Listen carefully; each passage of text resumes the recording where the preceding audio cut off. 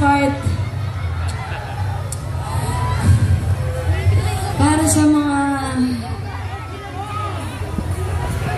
nilayuan, kahit nilapitan na.